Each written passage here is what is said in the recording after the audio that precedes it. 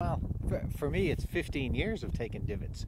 So just in, in 20 minutes here in the PlaneSWING has just made an Right. enormous difference. Right. Good. Down and through. Excellent. That's it. Better? Yeah, 20 minutes of doing this is remarkable difference.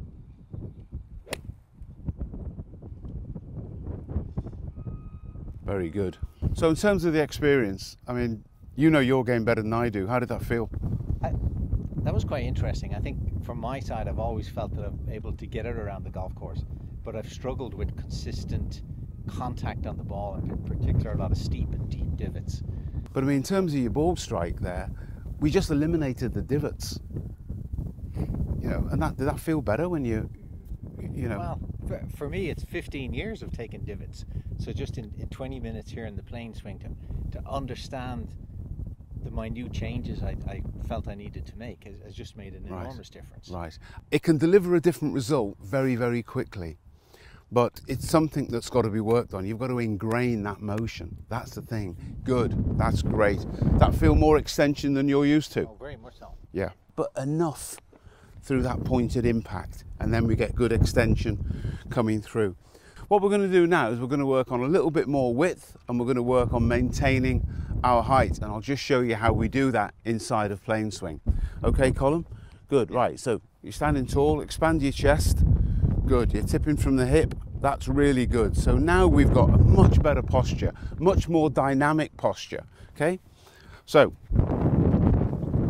Soften that right hand a little bit. There you go. Good. And what we're looking to do now is just to work the shoulders and the arms and just nicely together and just work on that width. Good. So you can see here, if you look here now, you've got some good extension coming through, which is great. And what I want you to feel while you're doing this is as you're working back and forward, is that you're clearing that left hip through impact. Okay? And that clearance is starting now. Clear that left hip. That's it. Good. And getting good extension here, right? Really important. Whereas what Colin was doing earlier was he was just hinging up a little bit too early coming through, wasn't getting as much shaft lean as I would like. Okay, good, nice and relaxed. Can feel the tension in your hands, nice and relaxed. Good. Okay, you focus on the ball. So we're working on width here. Now we hinge. Great. Keep that left shoulder coming. Good. That's great. That feel more extension than you're used to. Oh, very much so. Yeah. Okay. So from here now, keep that angle, but rotate the body, and you'll find that, see, not a lot of shaft lean, okay, but enough through that pointed impact. And then we get good extension coming through. So this feeling for you, because you're, you're quite inside going back, and you can feel here, this is probably feeling quite upright for you. Okay, good. Great. Okay.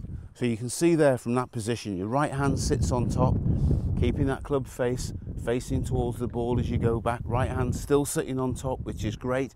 Now we're going to blend the hinge. Keep that left shoulder coming round. Good. Nice and relaxed. I can feel you tight there. Just get nice and relaxed in the hands. Good. Down and through. Excellent. It, it, it's a you know we all know what it's like. It's a constant job. You know the tour players have got um, 24/7 access to their coaches via video, and or they're working on the range four or five hours a day, whatever it might be.